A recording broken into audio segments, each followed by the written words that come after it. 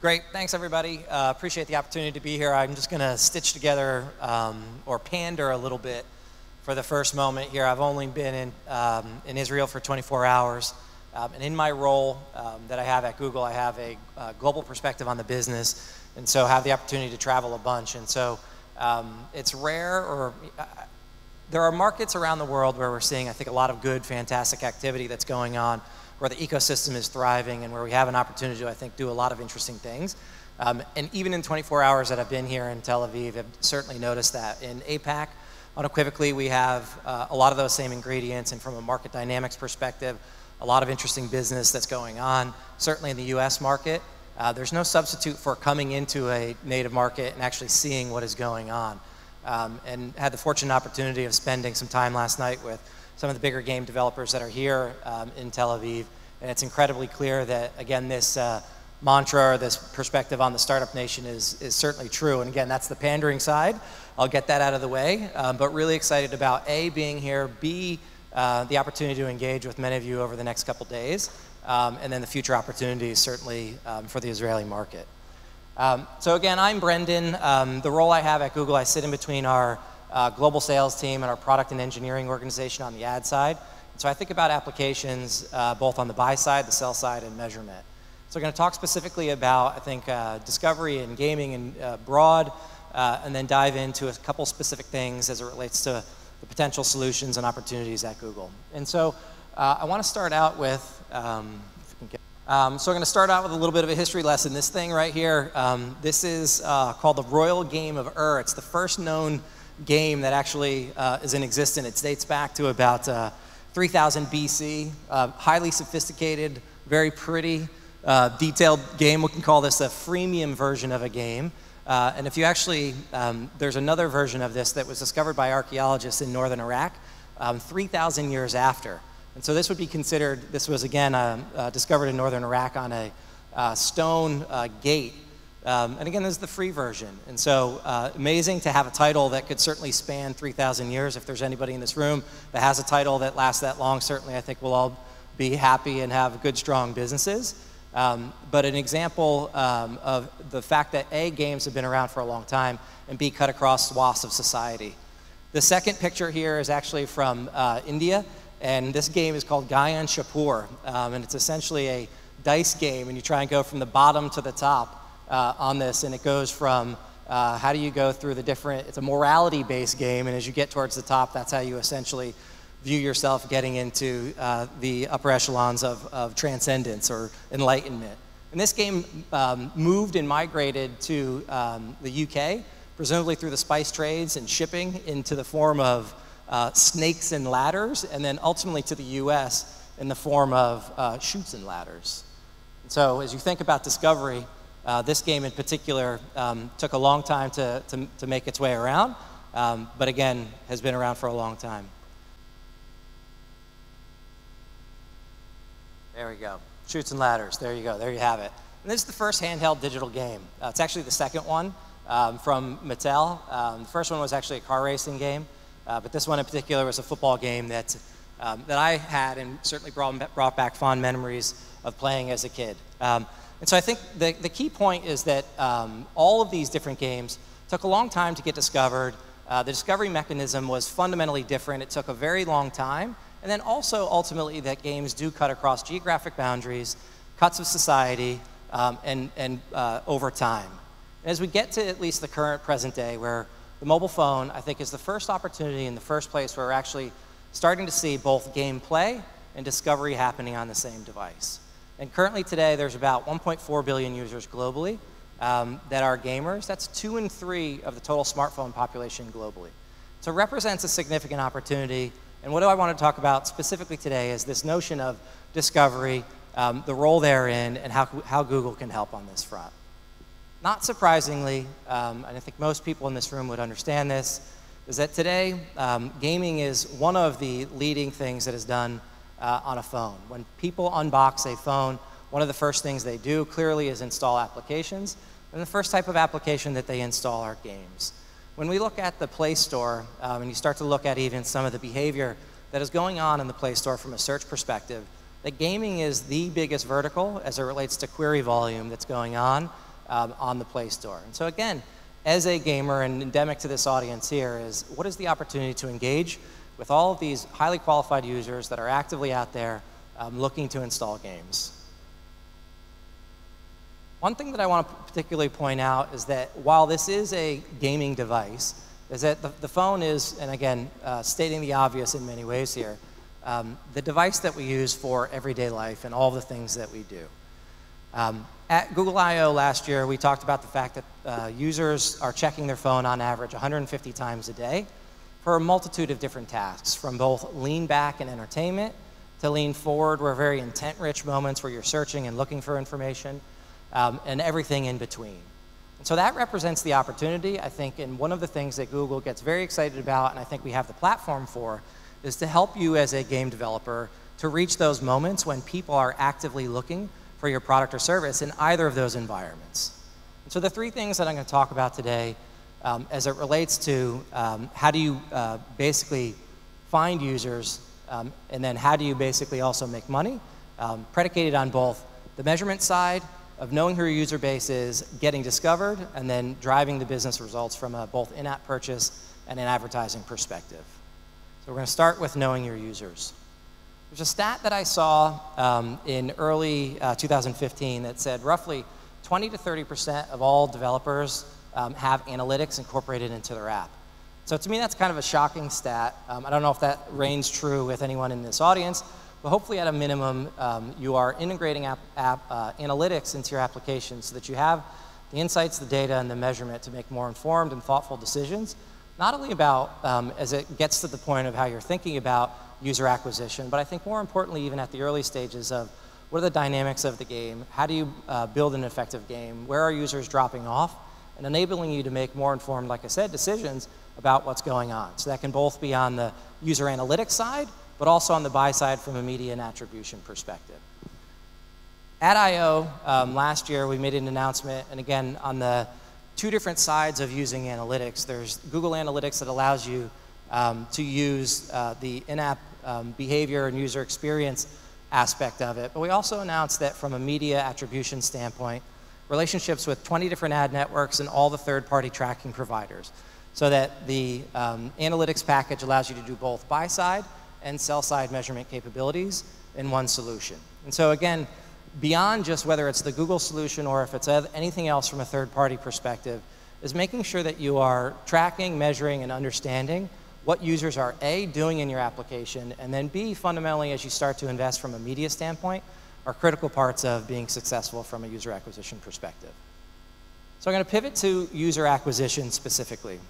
Um, as I talked about, I think Google is very well positioned to help from a um, top of the funnel and a bottom of the funnel perspective to get and engage with users that are actively either A, looking or being entertained, um, and then, like I said, at the lower portion of the funnel from a search perspective. And so there's four properties that we have um, and that are effective ways for you to think about how you can drive engagement um, and reach users um, uh, at, at, across the Google portfolio.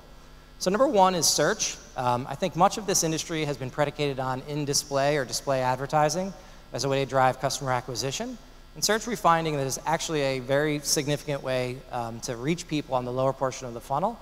And I'll talk more about the recent launch of running ads in Google Play as a very um, effective way to do this. The second thing is with YouTube. We've recently launched in the last six to nine months uh, the uh, um, TrueView campaigns that now you can do app install as well. And so you have uh, the same capabilities that you do on YouTube, which has a very um, specific gaming audience, um, where there's an opportunity to leverage the video format on YouTube and drive installs. And there are over a billion users today on the YouTube platform. Um, the Google Display Network, which I will talk about both AdMob and also the ability to run on mobile web.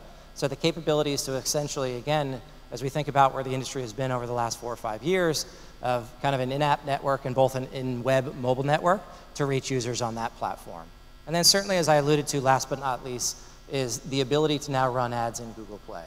So irrespective of kind of the environment that the user is in, whether it is, again, kind of sitting back and watching video on YouTube, whether it's more down in the lower portion of the funnel and you're searching for a particular product or service in the App Store, um, and last but certainly not least, that mechanism of being in an app environment within a gaming environment and reaching users, um, I think are both, or all very interesting ways to drive discovery. Um, the challenge, and I think one of the issues, and here's a, a, little data point from a survey that we ran recently, that 52% of users have uh, not, that have downloaded a game never end up playing. So the critical point that I want to make is that intent is so important as it relates to in the pre-qualification. And so there's a couple things on that front. Number one, um, and I'll talk more about this, but from a video perspective overall, video is a very, very strong uh, and compelling way to do some of that pre-qualification. If you've watched 30 seconds of a video ad, you're certainly far more likely to be engaging um, and use that app um, than in another environment. The second thing is that also from a search perspective, that we have that ability, that is really, I think, one of the driving forces uh, of intent over the last 10 or 15 years. So I think any of the products that we have that are search in nature, especially in the Play Store, are very relevant. And then last but not least are, um, I think, the benefit of, of, Google and having both um, all of these different media opportunities, but then also the Android marketplace, is that there are data signals that we get from Android, both in, let's say, uh, people that make in-app purchases and all kinds of different information that allow you to do more advanced and I think sophisticated targeting um, that do allow you to do some of that pre-qualification. So again, I think the main takeaway is that while um, you know, driving installs is key. It is ultimately, I think, you want to be driving the quality installs. And again, I'm um, stating the obvious here, but um, some of this data definitely reinforces that perspective. So all that aside, there's a bunch of different products that you could potentially leverage at Google from a discovery standpoint, but how do you do it simply and easily? A lot of times we hear from developers, whether they're larger, more sophisticated developers that have in-house marketing teams, or whether they're smaller developers that really don't have the marketing capabilities in-house, is that there is a barrier to entry to be able to actually buy all of these different campaign types at Google. So we recently launched in the last month or so something called Universal App Campaigns, which is very simply the set it and forget it campaign type at Google that allows you to basically take your app ID, um, your CPI, and your budget, and this automatically runs across all of the inventory we have. So it truly is a very simple and effective way um, to get uh, easy access to distribution across all of Google's products. Um, one of the things that we've been seeing from this as it's been come out of the gates is that actually sophisticated advertisers and smaller advertisers are using this um, as a way to build their marketing campaigns. Here are just a few simple screenshots of what we do. And again, as a result of having the Play Store, we can easily just take a lot of the imagery that comes from Google Play and auto-generate ads. Uh, and you here see left to right, uh, standard video ad that we would have if you have a video um, asset on the Play Store and the com com uh, companion ad around it. You can see in the search results the app install ad that shows up. Um, we run in mobile web, and so your ability to kind of run ads on the mobile web, auto-generate those. Uh, interstitials within the AdMob network, and then last but certainly not least, those ads that run on the Play Store. And so I just wanted to take one moment to talk about the Play Store and spe uh, specifically. I know in many conversations with developers that one of the biggest challenges um, is actually merchandising in the Play Store. And there are a lot of great things that you can do to, I think, build out those capabilities uh, to make sure that you are ranked, to make sure that you're getting editorially reviewed. Um, but like anything from a merchandising standpoint, placement is key. And so this is the first time where within the Play Store that you can actually um, leverage an ads product um, to uh, get some of that and you know work. It's not a guaranteed of placement by any means. It's the same auction dynamics that we have in our core AdWords product, but allows you to get better visibility and control that experience a lot more effectively. From a YouTube standpoint, um, as I talked about, very, very rich and engaging opportunity, and gaming has actually been one of the key um, drivers of um, the content as of late on YouTube. And so a couple things that I want to call out here. 20% of the most, uh, of the 100 most subscribed channels are gaming related. So again, a very, very rich gaming user base that exists on YouTube. 37% of the people watching gaming videos on YouTube consider themselves gamers. And then in October of last year, uh, there are 80, 80 days where uh, gaming video trends were in the top 10. And so um, this led to, and a lot of these types of insights led to why we actually created uh, and broke out a specific app, which is we now have the YouTube gaming app um, which is again another rich environment. If you're trying to go after uh, a good quality user base that is certainly more endemic to your this this particular audience, then a very uh, exciting and interesting way to get in front of those users. So the video ad product, for those of you that may not be familiar, the product is called TrueView, and it is very, very simply a video ad product. Uh, it can be 15 seconds, it can be 30 seconds, it can be whatever you want. Um, and basically the way this it works is that you only pay when a, when a video view is completed. So there's a skippable format after five seconds, and if you watch the full 30 seconds, that's the paying moment, or if I click on the install button to install the app. And so um, video ad pre-qualification drives to uh, install, and inline installs um, uh, are the, the thing that we have on YouTube. So I want to stop there before I go into the next section and just kind of recast as you think about discovery, as you think about how do you get users to um, find your app, there are numerous ways that you can do it on YouTube from, or excuse me, from Google, both in the upper funnel on YouTube, at scale within display, and then within search. And depending on your savvy and sophistication, you can either do uh, all the, the buying and purchasing with all the bells and whistles that you get within a normal AdWords campaign, or you can choose this new uh, mechanism, which is universal app campaigns, which just makes it a lot easier to execute an advertising campaign. So now I'm going to take a quick moment and talk about the monetization side and the opportunities therein. And so certainly Google believes fundamentally um, in advertising as a way to drive monetization. It's been core uh, of our business over the last 10 or 15 years. And we certainly expect that this trend is going to continue as it relates to just the um, ad, ad environment within the digital environment, whether that's both on mobile web or also uh, in an app environment. So the expectation is that ad revenue is going to grow to about 200 billion in 2019. So it represents a very you know, big opportunity um, uh, as you think about monetization. And I think most people in here know that as it relates to gaming is that there's such a small cohort of users that are actually the ones that are you know, typically doing all the in-app purchases. And so um, advertising, and certainly you can do other things, but advertising is a very compelling way to do this. I just saw some stats from App Annie uh, last night that I was reviewing, and it varies so much from region to region. So as you think about it from an export business perspective, the difference between revenue both on in-app purchase and the revenue that happens um, from an ads perspective. If you look at a market, let's say like Japan, Japan has actually, it's all in-app purchase, and there's a very, very small percentage that is ad-driven. Whereas if you look at a market, let's say like India, um, smaller amount from in-app purchase, but a very, very significant percentage that comes from advertising. So as you think about where do you export and what are the monetization solutions, not only do you need to think about the, the differences between whether it's ads or in-app purchase, but also on a market-to-market -market basis, how do you maximize the opportunity? If, for instance, you were going into the Japan market, advertising is probably not going to be the driving force of that. And like I said, if you're going into India or other markets, you may want to have a over-indexing uh, from an advertising standpoint. And so one of the critical pieces and the part of the AdMob business from a publisher perspective is what I'll call um, just smarter segmentation.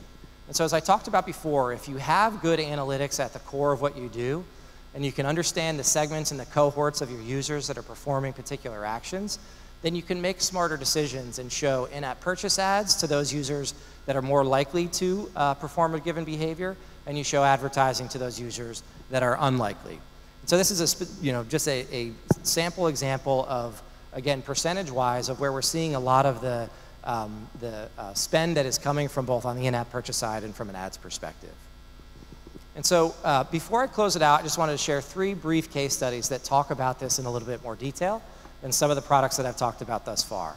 And so number one, uh, Machine Zone, who is a large spender at Google um, and has been using the TrueView format um, to drive uh, both awareness of their games but also installs, is seeing that relative to other uh, video platforms that the um, YouTube users are 15% more valuable than other competing platforms. So again, A, the rich kind of endemic nature of the gaming environment in YouTube, B, the pre-qualification with video are leading to just better outcomes.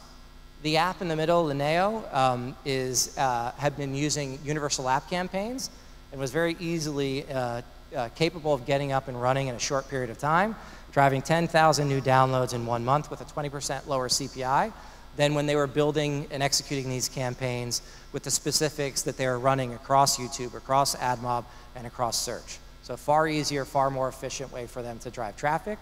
And then last but not least is from a publishing standpoint, uh, a company called Six Waves who was using basically this smarter AdMob and was able to drive um, uh, users that had been lapsed, the 20% users over the last two weeks that were lapsed and hadn't been making in-app purchases, using essentially some of the segmentation um, and running house ads to drive in-app purchases. We're able to get spenders that were not spending to come back and spend more.